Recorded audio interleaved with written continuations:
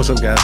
I'm Paul. This is Pauline Theology Daily Devo. I'm back, and we're going through the book of Ephesians. We're on chapter six now, and we're continuing on the household codes. And this time we have the mother, the father, and the child relationship, the parent to the child relationship, as he continues on this. And let us remember that uh, we start out all of this with the idea of how to be filled with the Spirit. Well, how to walk really in the, the, the life of Christ and then how to be filled with the Spirit, which is by submitting to one another. And now we're talking about the way in which the uh, family is submitting to one another.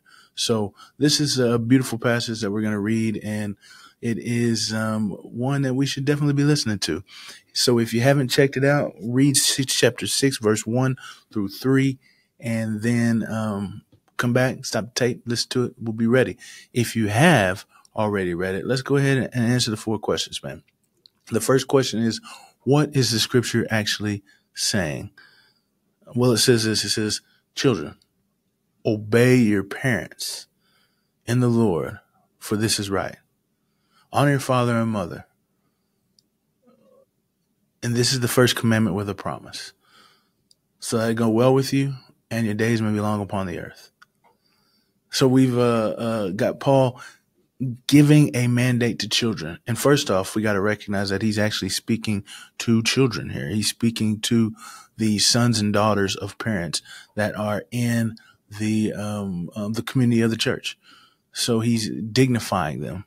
He's raising them up because in this in this past time, uh, uh, so many times uh, we've talked about this as we've gone through that the uh, paterfamilias or the head of the family, the father, would the one be spoken to, and he would speak these words to others.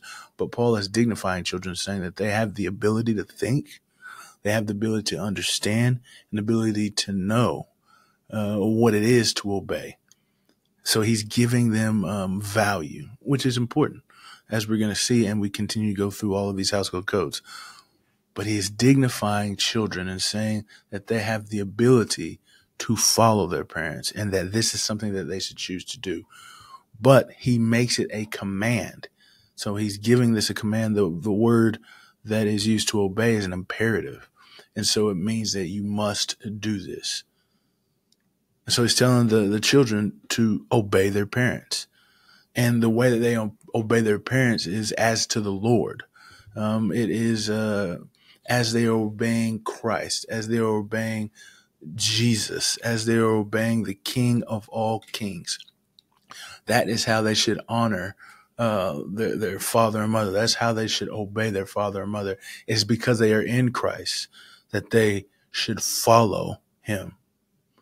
And so this is important to realize as well that these are not just uh, um, they're not babies. You know what I mean? They are potentially up to 20, 22 years uh, of these of, of, of age when he's speaking to these people that there are people that are still living in the house. Though this does concern more than those who are living in the house but these are the codes of the house in which the family is residing in. And so because of that we we, we have an understanding it's probably about 20 22 years up to age probably uh, grade school up to that age. And so when he speaks to these children that are in Christ, he says, obey them as they were in Christ. And then he, he gives a basis by which this should be done, which is the basis by which the, the, the marriage relationship is as well. It's based upon scripture. When he goes to the Old Testament and, and he talks about obeying your father or honoring your father and mother. And that's why we also know that this stretches on past this age as well, though, is that the honoring of the father and mother should be beyond being in the household. Uh, we see this when Jesus speaks about um, honoring your father and mother, and that the Pharisees are telling them uh, to dishonor their father and mother. It's it's it's a, it's a crazy story. Check it out, man. But uh, yeah, so Paul continues to say this, and he says it's the first commandment with a promise, and this is this is wonderful because God says he he he he he envisions or desires for children to obey their parents so much so that a promise is attached to this. I think it signifies the importance of the family relationships between the father and the mother and the child. And so, what does this scripture uh, say about God? Well, first off, I wanted to finish by saying it says to that we would might live long on the earth is that this we don't want to we want we don't want to take this as a every time situation. This is a proverb in which it speaks of the nominal, I think it's gnomic sense of it is that this is normally what happens. It's not every time. Uh, this is not something that's going to happen every single time we see see sadly people die young all the time. But I think that in the sense that if we follow and honor uh, our parents as as following the scriptures as honoring the Lord, then our days, uh, in most likelihood, will be longer upon this earth. So, what is it saying about God? Is that God values the um, honoring of your parents, that He has given us uh, uh, parents so that we might learn and grow in Christ, and in order to sustain and to maintain and to to show a, a, a the, the beauty of the church is that we're to honor this relationship. We're to obey our parents. We do as they say, especially when living in the household. And I say the the the household part because this is the part where he says obey as an imperative. And then the honor, which is to show deference to your parents, is to be maintained past the household.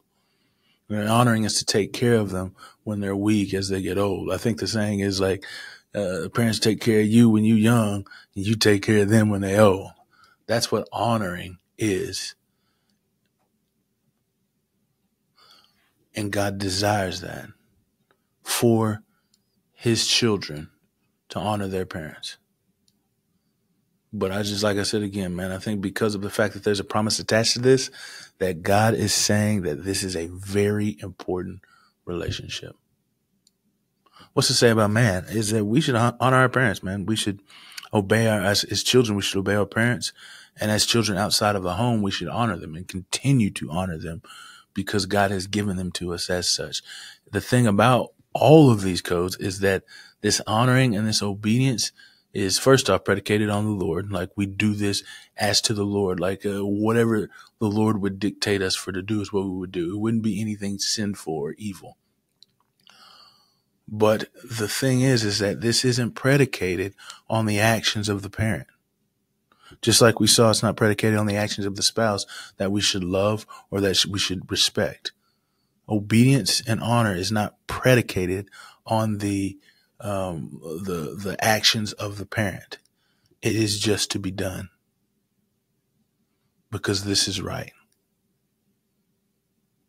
And how can we apply these truths, man? Well, I think that uh, we should honor our parents. I mean, what what more can we say?